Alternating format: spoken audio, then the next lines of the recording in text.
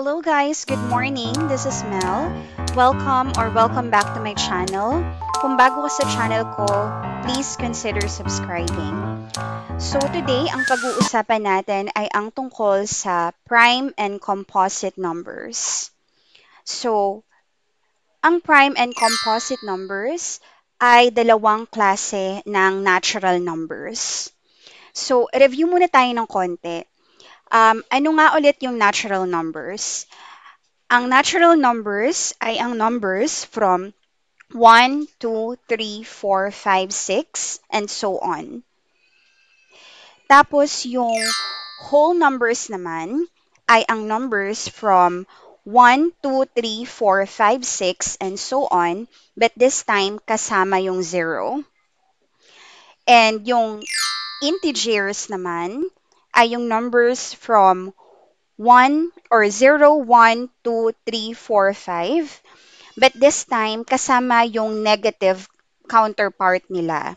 So that's negative 1, negative 2, negative 3, negative 4, and so on. Okay? So again, yung prime and composite number ay dalawang klase ng natural numbers. So let's start with prime numbers. So by definition, ang prime numbers are numbers that only has two factors, namely 1 and itself, and is greater than 1. So, ano ulit yung ibig sabihin ng factors?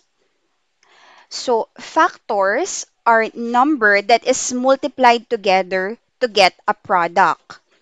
So, that means factor times factor equals product.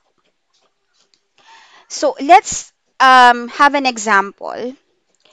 So example, what are the factors of 12? So the factors of 12 are 1, 2, 3, 4, 6, and 12. So paano natin nakuha itong mga factors ng 12? This is how we do it. So, maghahanap kayo ng dalawang number na kapag minultiply nyo ay 12 yung magiging sagot. So, ibig sabihin, ito yung mga numbers na 1 times 12. So, 1 times 12 equals 12. 2 times 6 equals 12. And 3 times 4 is equals 12.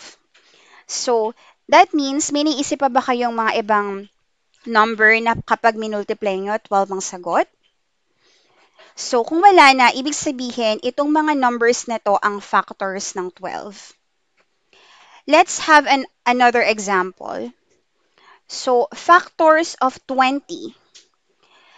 Factors of 20 would be 1, 2, 4, 5, 10, and 20. So, same drill. Paano natin nakuha yon? So, 1 times 20 equals 20. 2 times 10 equals 20 and 4 times 5 equals 20.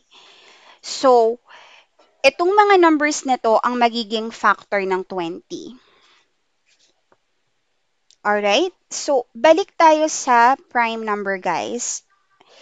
So, again, sabi dun sa definition kanina, prime numbers are numbers that only has two factors, namely 1 and itself and is greater than 1. Okay? So, based dun sa natural numbers natin, nag-start siya kanina sa 1, 2, 3, 4, 5, 6, 7, 8, 9, 10, so on and so forth. So, sabi dito, may dalawang factor lang daw ang prime number, which is 1 and itself. So, that means maghahanap ka ng number na ang magiging factor lang niya ay 1 at ang sarili niya. For example, 2. So, ang factors ng 2 ay 1 at ang sarili niya, 1 times 2. May naisip pa ba kayong ibang number na kapag minultiply nyo sa 2, ay 2 ang lalabas? Wala na, di ba? So, ibig sabihin, itong number 2 ay prime number kasi wala na siyang ibang factor kung hindi 1 at ang sarili niya. At merong isang rule pa dito nakalagay is greater than 1. So, yung 1, hindi siya prime number. Okay? So, let's state another example, 3. So, 3, ang mga factors ng 3 ay 1 times 3. So, 1 at ang sarili niya. So, wala na kayong may isip na iba pang number na kapag minultiply nyo sa 3 ay 3 ang sagot. So, ibig sabihin, 3 is also a prime number. Another example is number 5. So, it's 1 times 5. So there again, there are only two factors, which is 1 and itself, 1 and 5. So 5 is a prime number. Ganun din yung 7, right? So 1 times 7 equals 7. 7 only has two factors. No other numbers na kapag multiply mo ay 7 yung lalabas other than 1 and itself. So, I know that by this time, nakuha nyo na yung concept. Same goes with 11, 1 times 11. And the number 13, 1 times 13. Okay? So, ganun yung madidistinguish sa natural number kung alin yung prime. Okay? So, what you can do is you can write the numbers from 1 to 100 and then i-distinguish nyo doon kung alin yung mga prime numbers and then leave it in the comments, okay? Next, um, let's talk about the composite numbers. So, composite numbers would be yung kabaliktaran ng prime number. So, by definition, composite numbers are numbers that have more than two factors other than 1 and itself and is greater than 1. So, as you can see, um, meron siyang rule din dito sa composite number na it should be greater than 1. So, yung number 1 is neither prime or composite. Hindi siya prime, hindi rin siya composite. Okay? Um, again, kabaliktaran siya, uh, ang composite number ay kabaliktaran ng prime, have more than two factors other than one in itself. So, let's state an example. For example, the number 6.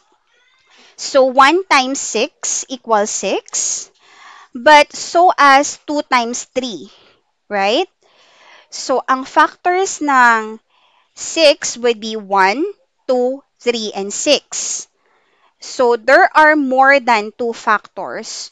So ang number 6 ay composite number. Another example would be number 10. So, 1 times 10 equals 10. So as 2 times 5 is also equals to 10. So, ang uh, factors ng 10 would be 1, 2, 5, and 10, which is more than 2 factors. So, 10 is a composite number. Another example would be number 8. So, number 8 uh, 1 times 8 is equals to 8. And 2 times 4 is also equal to 8. So there are more than two factors, namely 1, 2, 4, at 8. Okay, so number 8 is a composite number. So same thing, you can write the numbers from 1 to 100 at ibigay nyo sa akin yung mga composite numbers sa comment section. So that's it guys. Thank you very much for watching this video. I hope may natutunan kayo. Um, please don't forget to like, share, and subscribe. And also hit the notification bell so you can be updated sa mga bago kong videos. Thank you and you guys are awesome. Thank you very much and have a lovely day ahead. God bless you. Goodbye.